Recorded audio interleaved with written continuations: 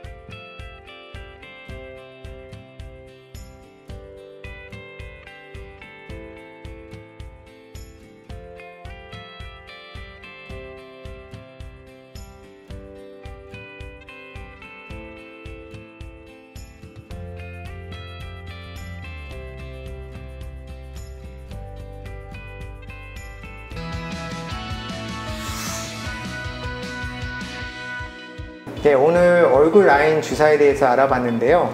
모두 이뻐지시기 바랍니다.